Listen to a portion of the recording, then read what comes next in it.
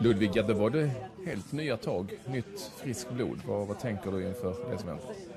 Är bara otroligt laddad för att det ska dra igång och vi har, vi har mycket, mycket matcher att se fram emot i höst och mycket viktiga matcher så det ska bli kul.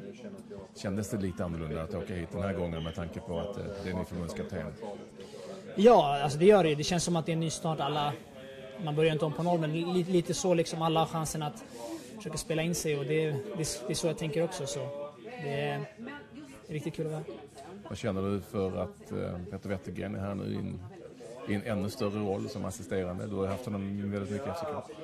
Nej, men jag tror det är positivt för jag vet att han är en fantastisk tränare och han eh, var väldigt omtyckt i FCK av eh, hela klubben och fansen också så jag tror det, det är väldigt bra för han är väldigt kunnig så det, det är riktigt kul.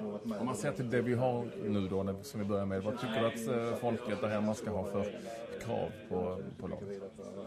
Nej, men jag tycker ändå, även om det är mycket nytt och sådär så tycker jag ändå kraven ska, kraven ska alltid vara höga. För jag tycker att vi har en spännande trupp. Det kommer säkert ta lite tid för det är många nya spelare som inte har så mycket erfarenhet. Jag tror det bara var några stycken som hade mer än 20 landskamper. Så. Nej men kraven, alltså jag tror ändå att alla kraven, kraven från svenska fansen tror jag ändå är att vi ska gå till VM, även fast det ser tufft ut. Men men, så det är det, det är det jag hoppas och tror på också. Vad tycker du vi ska göra annorlunda då? Jämfört med det som vi såg i somras?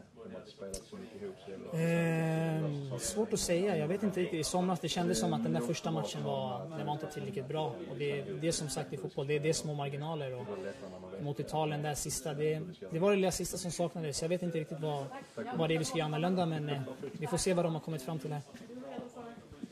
Är det, du säger att det är spännande och sådär. Vad, vad, är det, vad är det mer du tänker på som, som kommer med någonting nytt?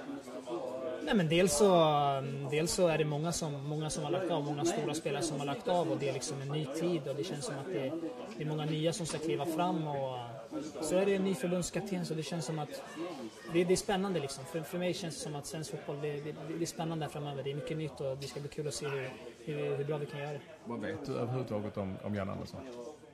Eh, nej men jag vet, jag vet en del. Eh, vad vill du veta? Ja, vad du vet? Nej men jag vet, jag vet att han, att han har gjort det fantastiskt bra i Norrköping och väldigt omtyckt där. Jag var, han ville faktiskt ha över mig till Norrköping där när, när jag lämnade BP. Så jag träffade han då för några år sedan. Så fick positiv intryck då. Varför nobbade du då? Eh, nej men det var ju för att eh, Norrköping var inte riktigt en toppallsvensk då. Annars eh, hade man vetat det några, sidor, några år senare hade man kanske tagit det. Men, eh, men jag fick positiva intryck då också så det finns bara bra säger man. Ja, ja, då kör vi. Det är ju Holland som väntar och det har ju åtminstone varit väldigt bra. Vad vet du om dem nu?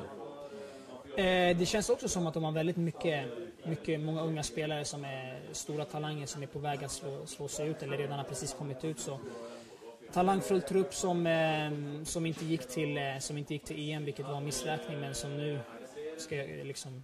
Jag tror bara det, det finns bara vi, att de ska gå till VM, det är bara det som gäller. Och har många bra spelare, men ändå inte riktigt så bra som de har varit för, för, för x antal år sedan. Tack så mycket.